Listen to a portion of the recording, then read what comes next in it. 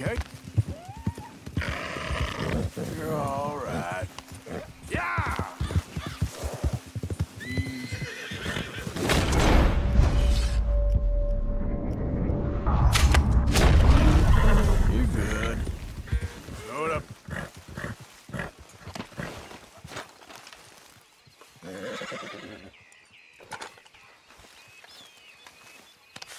Yeah, it won't take long, girl.